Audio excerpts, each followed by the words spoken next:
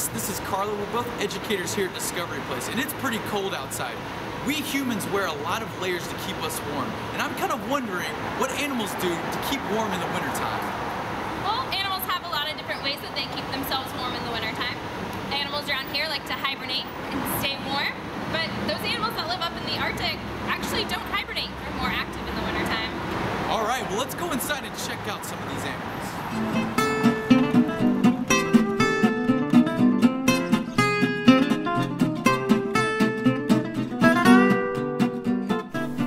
So today the first animal we're going to talk about is a polar bear.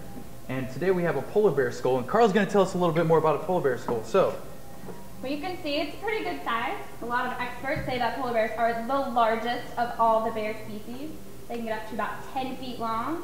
You can see from their head, it's pretty large. They've got some impressive teeth that they use to catch their favorite food, which is seal. So what the polar bear does is it sits at the hole that the seal comes up to breathe out of, waits for it to pop up, and then it's going to catch it in those big jaws. They're what's called an ambush predator. So they sit and wait instead of chasing it down. so Carla, how much does a polar bear weigh? Well, polar bears can weigh up to about 1,700 pounds. They weigh enough to break the ice. All right, so let's talk a little bit about the fur also. So most people think that polar bear fur is white, but it's actually clear. It has these tubes that are very, they're they're long tubes, and they actually have air in them. And so that's a very, that's a big misconception. So, can you show everyone where polar bears come from, Carla? Well, polar bears are probably the most recognized Arctic animals, and so the Arctic is this part right up here at the top of the globe. So here in the northern hemisphere, up in the Arctic Ocean, in parts of Russia, Canada, and Alaska.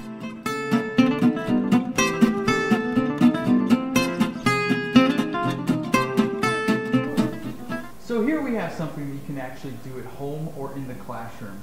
We have some lard or fat that is inside of a Ziploc bag. And what this does, this kind of shows you what it's like as an insulator. And we have a bucket of water here. So I'm going to put my hand inside of the bag and we're going to put this inside of the water. Wow, I really can't even feel that cold water. So this is kind of, I guess, what it feels like to be a polar bear. So let's try your bag out and see what that feels like. See if that's really cold. All right, you give it a All try. Compare. All right, it's pretty cold in there. So we can see that this bag insulates heat much better. All right, guys, we're here are some more animals that you might recognize. Chris, do you know one of these animals doesn't live where it's that cold? Hmm. I think it's the penguin, because most people think that penguins are up in the Arctic with polar bears, but this penguin is actually from Chile. So, can you tell us a little bit more about that? Yeah, this is a Humboldt penguin, and it actually has some bare patches on its cheeks and underneath of its wings, so that when it gets really hot, it can actually get over 100 degrees where these penguins live. They'll start to blush, and they turn a nice pink color. So they're kind of opposite of most animals that live in the Arctic, because most animals live in the Arctic try to keep warm. They actually try to stay cool at some points, right? Yeah, so you might notice that our other birds here, like the snowy owl, and these ptarmigans have feathery feet. That's gonna help keep them warm up there where it gets really cold. Well, is this one, this one kind of looks different than the other one. This one's white and this one's brown. I think that's because of the seasons, right? Yeah, so in the summertime, a lot of Arctic animals, like these ptarmigans, and animals like the Arctic fox that we usually think of as being white, are a brownish color in the summertime to help them camouflage, and then they'll turn white in the winter. And this right here is an owl. This is a snowy owl, correct? Yes. All right, and they also have these really cool white feathers. And most animals that are white use it also for camouflage. So this is an ermine. It's in the weasel family. And even though he's pretty cute looking, they do stay small like this, but they're pretty ferocious.